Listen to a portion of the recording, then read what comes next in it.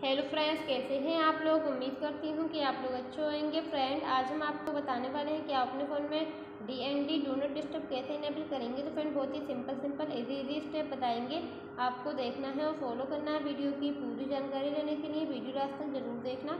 अगर फ्रेंड आपने मेरे चैनल को सब्सक्राइब नहीं किया है तो बेलाइक दबाइए चैनल को सब्सक्राइब कीजिए। फ्रेंड आपको ऑप्शन देखने को मिलेगा फ़ोन में।